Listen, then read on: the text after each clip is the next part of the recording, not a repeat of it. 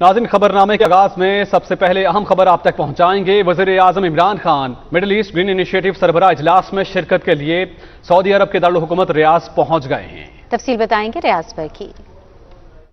वज़ीर अजम इमरान खान रियाद पहुँचे तो हवाई अड्डे पर रियाद के नायब गवर्नर शहजादा Mohammed bin Abdulrahman bin Abdul Aziz ने उनका इस्तकबाल किया। वज़ीर खारजा शाह महमूद कुरेशी, वज़ीर तोानाई हमाद अजहर और मावन खसूसी बरए माहौलियाती तब्दीली, मलिक अमीन असलम भी वजी अजम के हमरा हैं। वजी अजम Imran Khan Middle East Green Initiative सरबरा इजलास में शिरकत करेंगे। वजी अजम सरबरा इजलास में माहौलियाती तब्दीली के बायस तरक्की पजीर मुल्कों को दरपेश चैलेंजों के हवाले से अपना नुकता नज़र पेश करेंगे। वो कुदरती तरीकों से इन चैलेंजों से निपटने के लिए पाकिस्तान पाकिस्तान के तजर्बात से इजलास को आगाह करेंगे। वज़ीर अजम इमरान खान सऊदी क्यादत के साथ दो तरफा ताल्लुक खसूस इकतदी और तजारती ताल्लुक के फरोग, पाकिस्तानी अफराधी कुत के लिए मजीद मौके पैदा करने और सऊदी अरब में पाकिस्तानी कम्यूनिटी की फलाह बहबूद के हवाले से तबादला ख्याल करेंगे। अपने दौरे के दौरान वजी अजम इमरान खान पाकिस्तान में सरमाकारी के फरोग के हवाले से एक तकरीब में शिरकत के अलावा मुमताज़ सऊदी और पाकिस्तानी सरमाकारों और ताजरों से भी बातचीत करेंगे। पाकिस्तान और सऊदी अरब के दरमियान तारीखी बिरादराना ताल्लुक कायम हैं। सऊदी अरब में बीस लाख से जायद पाकिस्तानी मुकीम हैं और दोनों मुल्कों की तरक्की में अहम किरदार अदा कर रहे हैं।